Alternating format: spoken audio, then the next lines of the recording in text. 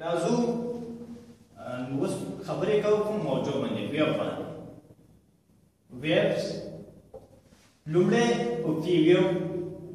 یا پی موضوع باندې خبرې کوو پی ویب چې دی دا د اټریل ډیپولرایزیشن څخه رامنځته کیږي پی ویب د اټریل ډیپولرایزیشن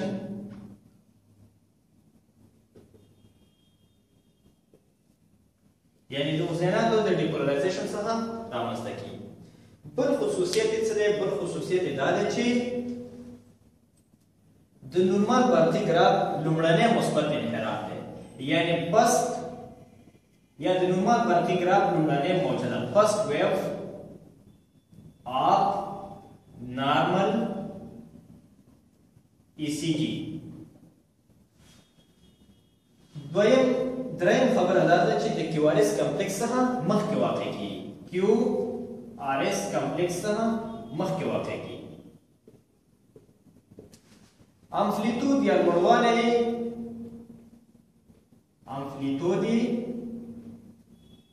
صفر اشاریه دوه نهتر صفر اشاریه درې ملي ولټ پورې دی ډیوریشن یا دوام یې د 0.056 نه تر 0.12 سیکنډ پورې دی او شیپ یا شکل یې چې دی شیپ یې همیشه شکل یې همیشه راوند ګرد دی اینډ آپ او پورته خواته راځو د زړه پرتی ګراف کې اوس دا ټول خصوصیتونه واضح کړو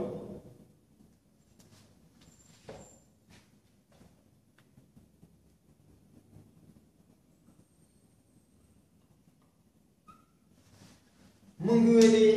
چې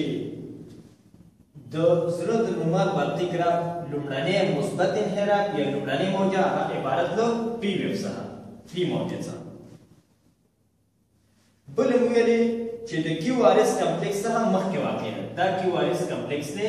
او د کیو آر اس کمپلیکس څخه مخکې پی ویو بله مو ویلې چې لوړوالی یې د صفر اعشاریه دوه نه تر صفر اعشاریه درې میلي وولټ پورې دی خو موږ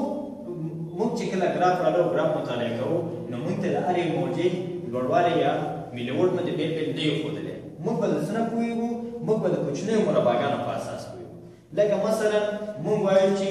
په نورمال ډول په یو ملي وولټ کې په یو ملي وولټ کې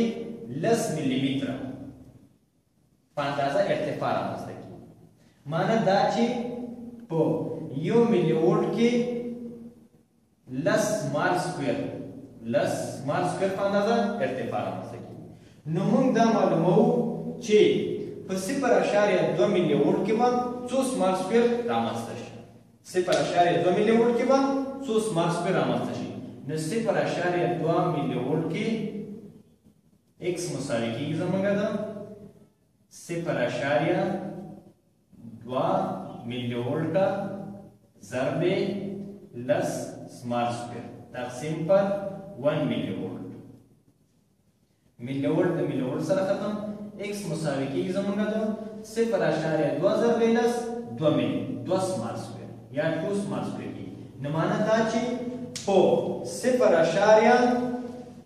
دوه ملي ولټ کې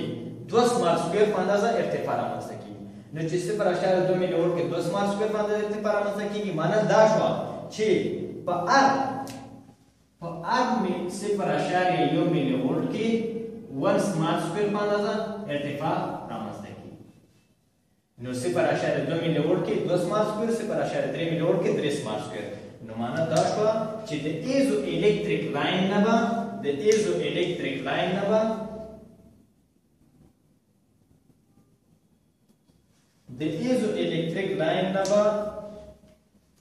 پي موجه د دوه ملي ولټه نه تر دو دو سمار سکویر نه نیولې تر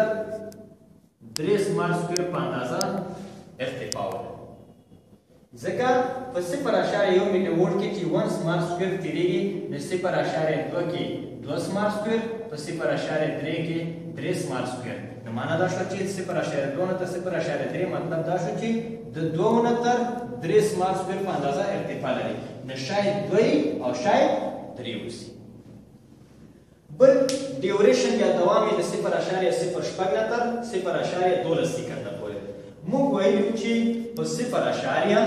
موږ ویلو په صفر اشاریه صفر څلور سیکنډ کې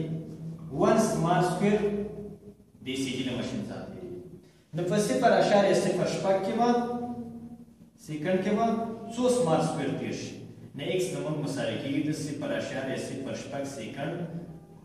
ضرب ون سمار سکویر تقسیم پر صفر اعشاریه صفر څلور سیکنډ سیکنډ د سیکنډ سره ختم ایکس مساوي کېږي صفر اعشاریه صفر شپږ تقسیم پر صفر اعشاریه صفر څلور نو دا کیږي پر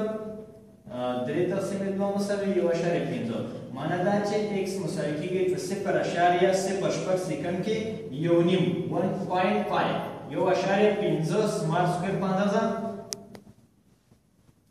یو اشاریه پنځه سمارټ سکویر د سیکنډ ماشین ساتلی او صفر اشاریه دولس او صفر اشاریه دولس چې کله مونږ په صفر اشاریه صفر څلور تقسیم کړو نو دې نه لاسته راځي درې سمار سکویر نو معنا دا شوه چې د یو اشاریه پنځه نه تر یا یو نیم سمار سکویر نه تر تر درې سمارټ سکوير په اندازه دوام لري ځکه کله چې موږ ګراف ګورو موږ ته داسې نه وي لیکلی چې صفر اعشاریه صفر شپږ سیکنډ صفر اعشاریه صفر دولس سیکنډ یا لس سیکنډ یا دولس سیکنډ موږ به د سمارټ سکویر په اساس باندې پوهېږو چې صفر اعشاریه صفر شپږ کې سیکنډ کې یو اعشاریه پنځه یا یو نیم سمارټ سکویر تېرېږي او صفر اعشاریه دولس کې درې سمارټ سکویر تېرېږي نه معنی دا شول چې پي موجات پي موجات چې لوړوالی یې د دوه نه تر درې ملي ولټه پورې د صفر اعشاریه دوه نه تر صفر اعشاریه درې ملي ولټه وو معنی دا چې دوه نه تر درې سمار سکویر په اندازه ارتفاع لري او دوام یې د یو نیم نه یو اعشاریه پنځه یو نیم نه تر درې سمار سکویر یعنی دا معنی شاید شاید درې سماس کوري دوه سماس کوري یو نیم سماس کوري خو که د یو نیم نه زیاتېږي کمیږي او یا د دریو نه زیاتېږي نو معنا دا چې پاتولوژي پکې موجوده ده او شکل هم ویل چې همیشه راوند اند آفي همیشه یې شکل ګرد شکل یې همیشه ګرد او پورته خواته په شکل کې کوم تغیر راځي او یا دا چې